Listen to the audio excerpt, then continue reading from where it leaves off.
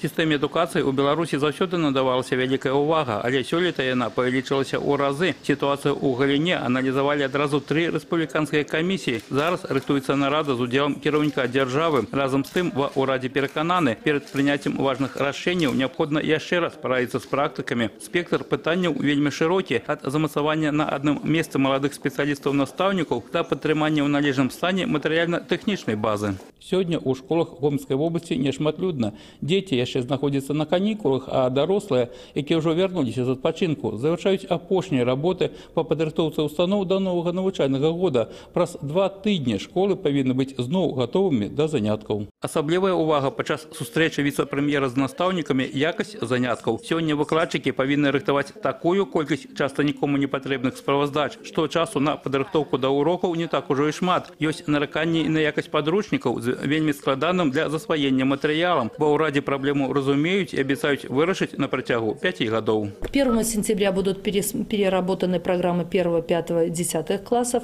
а в течение пяти лет будут разработаны новые учебники, которые будут понятны и доступны как для, учи... для учащихся средних школ, так и для их родителей. Апрача таго, з гэтага года вырашана аднавіць профільныя класы. З аргументамі настаўнікаў спрачацца цяжка. Немагчыма на адным уроку займацца з адоранымі вучнямі па паглыбленай праграме, з усімі астатнімі па звычайнай. Те учащиеся, которые которые э, хотят получить знания, они должны учиться в профильных классах, получат подготовку соответствующую и смогут поступать, э, легче будут поступать в высшее учебное заведение. Э, другие учащиеся смогут, те, которые в профильных классах не обучаются, могут продолжить свое образование в ліцеях.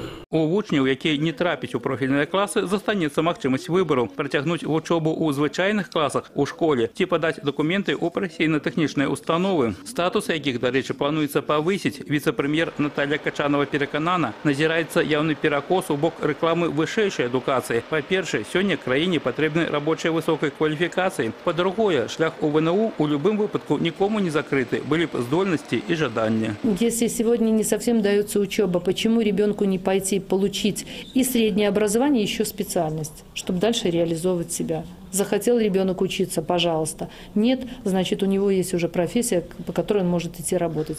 Другой вопрос, что профессионально-технические учреждения должны работать над тем, чтобы выпускать действительно квалифицированных специалистов. Олег Сентюров, Валерий Гапанько, телерадиокомпания «Гомель» с Мазара.